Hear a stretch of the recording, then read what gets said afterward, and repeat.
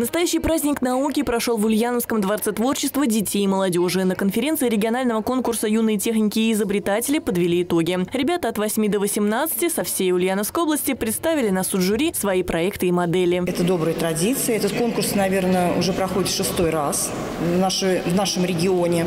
Вот, поэтому это ежегодные. И поэтому и как педагоги, так и дети, и родители знают об этом конкурсе и с удовольствием участвуют. Проекты в самых разнообразных отраслях науки, техники. Это и авиа, это моделирование, то есть авиационная отрасль, и беспилотные летательные аппараты. Авиамодельный кружок в Дворце творчества детей и молодежи более 10 лет возглавляет Анатолий Григорьевич Уфимцев, офицер запаса, который 8 лет прослужил на Байконуре. Из них 4 года в первом испытательном центре начальником службы горючего. Заправлял ракеты, в том числе первые «Энергию» и «Буран». После увольнения из армии пришел в детский авиамодельный кружок передать свой опыт. Его ученики тоже ежегодно участвуют в конкурсе юных техников и изобретателей. Я придерживаюсь э, в проектной деятельности традиционной схемы. Э, у нас есть, конечно, и 3D-принтеры э, и так далее, где мы тоже иногда заказываем и делаем некоторые детали для самолетов и макетов. Но в основном все это ручная работа.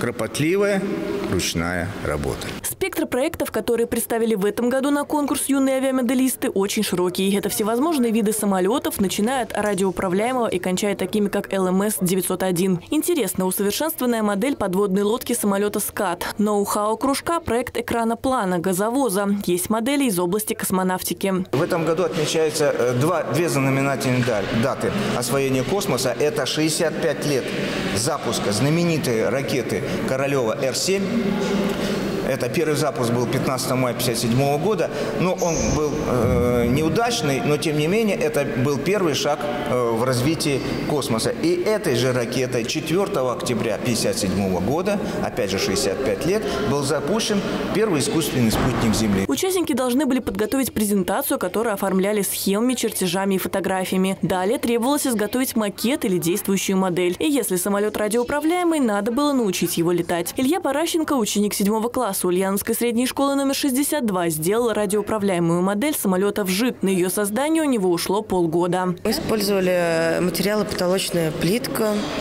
Э, потом все это, когда вырезали шаблоны, все это с сайта брали э, распечатывали на принтере, создавали шаблоны, потом